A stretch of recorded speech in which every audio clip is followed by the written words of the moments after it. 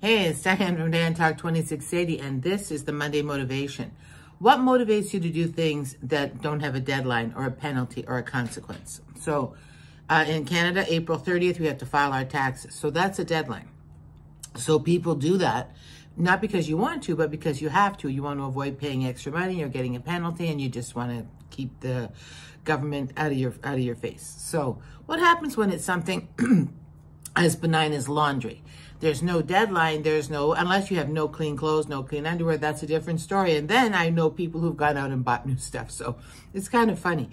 The trick is to change it from what I have to do to what I want to do so that you do it and you approach it with a happier, you know, demeanor. You're okay with it and you accept it. And one of the ways that helps me, and I've really tried to be more structured lately, is to schedule things.